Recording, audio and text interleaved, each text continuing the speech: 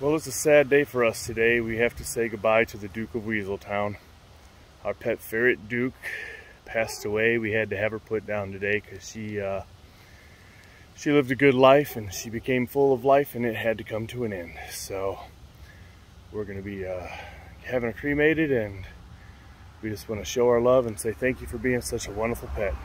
Love you, Duke.